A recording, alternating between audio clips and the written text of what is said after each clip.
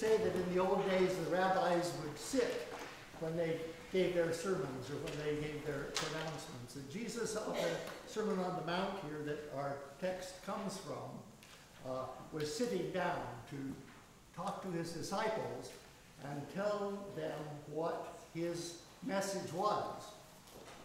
Now, it's been said that these passages that we read today in the gospel are the bad news. Not made, the Ten Commandments have been made even tougher. Thou shalt not kill becomes don't even think about being angry. Thou shalt not uh, commit adultery. Don't even think about it. One of our Jewish friends, woman friends, said to me once uh, when I said, it's about do not commit adultery that I, that I was going to preach. And she says, it means don't even think about it. well, how can you help it? You know, we have such uh, a, a, society in which the women are made so often to look temptatious, to be flirtatious, to act flirtatious, to tempt men into leering at them, thinking about them, thinking thoughts that they would, I don't know, rather not have thought about them, I don't know. But we live in a society where there's lots of that going on. Do not even think about it. Okay, that's hard to do. Uh, and the others that we have here do not uh, swear, do not give an oath. And it's interesting because in our Old Testament lesson, Moses is swearing by heaven and earth about what he's just telling these people. Swearing to, is was considered by Jesus not necessary. You are supposed to be honest and forthright and say the truth. And if you were that way, and everybody believed that, then you wouldn't have to swear by heaven or by the temple or by the hair on your head. He says you can't swear by the hair on your head because you can't turn it white or dark. Well, today you can. or purple or green or whatever color you want. But the idea is you can't make your hair change except by artificial means. So don't swear by your head. Don't swear by your hand or by your feet or by the temple or by Jerusalem. And people would swear, make oaths in these names. We make oaths in the name of God. When you go on jury trial, uh, or as a witness, you swear with the, on the Bible, you swear to tell the truth, the whole truth and nothing but the truth. So help you God. So don't do that, he says. And I don't know what the, the court would say about that if you didn't do it, but the Quakers don't do it. They wouldn't do it. The Essenes didn't do it in the time of Jesus. They would not swear, uh, take an oath at all. It doesn't mean don't swear by using language that is inappropriate. Don't take the God's name in vain. That's something else. And that's a whole other sermon which I would like to preach to you someday. Because we, and as, as us sailors, often do, often swear like a sailor, they say, like a drunken sailor, maybe.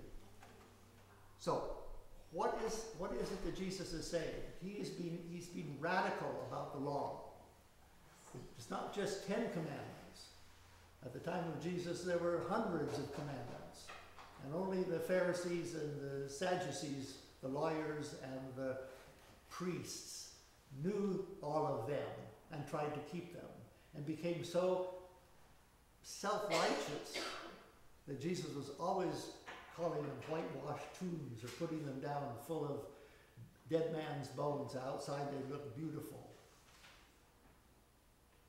The people didn't know what all of those commandments were, and they were always breaking them. There were so many, there were so many rules about cleanliness and being uh, holy in front of in front of the in front of the temple. If you wanted to come into the temple, there were lots of things you couldn't do. Think of the story of the Good Samaritan. The Samaritans, you know, were the outcasts. They were from the northern kingdom, which had split off with over which mountain was where you worship God, years and years before. And so the Samaritans were people that you didn't have anything to do with. Jesus tells a story about a man that gets waylaid on the road by the robbers and he's left almost dead. And along comes the priest. And he sees this man and he's bleeding and all and walks on the other side so he wouldn't be defiled. He didn't want to be able to not go into the temple. Or the, or the or the scribe that comes by and does the same thing, walks over on the other side and leaves the man bleeding in the, in the trench. And along comes the Samaritan, the outclass, the underclass, the, the one who is outside the, outside the Paul, comes and binds him up and puts him on his donkey and takes him to the inn and has the innkeeper take care of him, pays says, if you need more, I'll pay you when I come back this way. Who was the neighbor to this man? Jesus asks. Who is the neighbor? The problem with all of these rules is they make us further and further away from God because we can't keep them all. We may not even know them all. And even the ones we do know, we cannot always keep. St. Paul, who wrote perhaps 50 years before Matthew wrote this gospel, says that the law was put in, was given to us so that we would, so that we would be guilty, so that we've got no recourse on our own, but only by the grace of God could we be made righteous. That God, we had to depend on God. That was the idea of the law to Paul. We had to depend on God who would make us righteous, who would lift us up. And even though we're sinners, we confess sin every morning in the church and, and ask for forgiveness and for absolution. And though we are sinners, God forgives us and wants us to be his children, wants us to be part of the family, part of the communion with God. So the law is made so that we will break it and so that we will then depend on God, depend on God for God's mercy, for God's grace, for God's forgiveness. I'm tempted to stop here. John, uh, Jim said uh, a, short sermon is always welcome, but I have a whole lot more to say.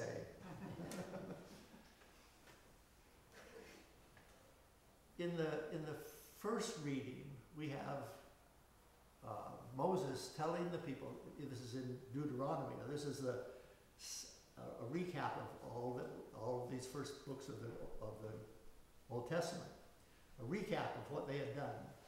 And he says, you, we're now at the border to the promised land. We have to cross the Jordan into the promised land. And I set before you the blessing and the curse. Choose the blessing. Obey God's word. Do what is right. Love your neighbor. Love your enemy. Well, he didn't say that, but love your neighbor because they have lots of enemies all around them. And they've been fighting the enemies all the way through the desert. And they'll fight some more. But as you keep in touch with God, as you keep God in your sight and make him or her the main part of your existence, of where you go with your life, then you will live and you will be, and everything will be well for you in the land. But if you don't, if you forsake God, if you forsake your neighbor, if you forsake the commandments, then you will die.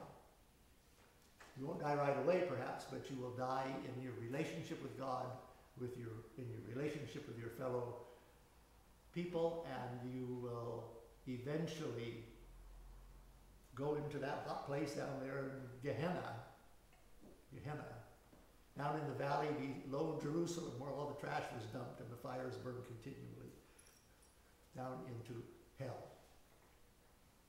So Moses is saying, choose life, Choose the right thing.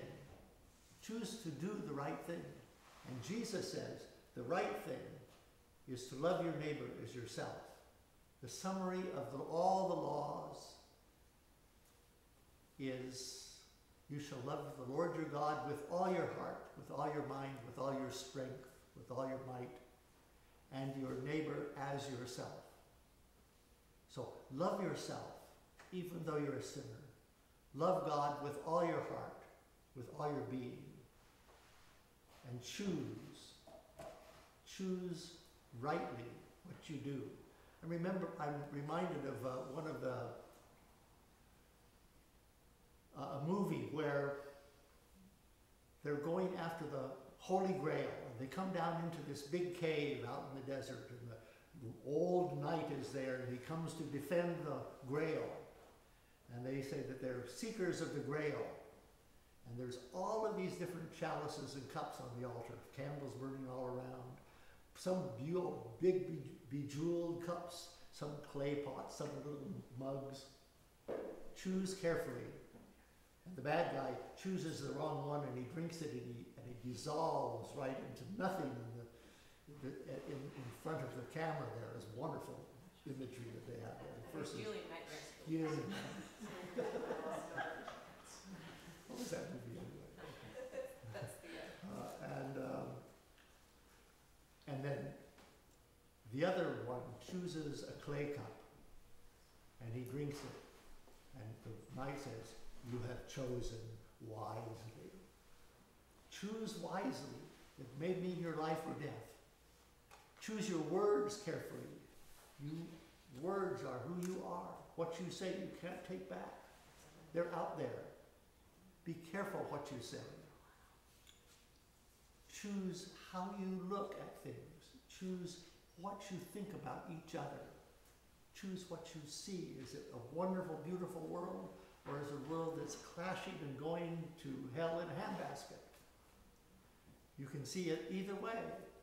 Read too much news, look at too many uh, TV newscasts, and you might see it as a dark place. But if you read this book that we've been talking about, if you think about God, about Jesus, about love, about each other, then you'll see the world as this beautiful place. Choose life. Choose life that you may live in this beautiful place. Amen.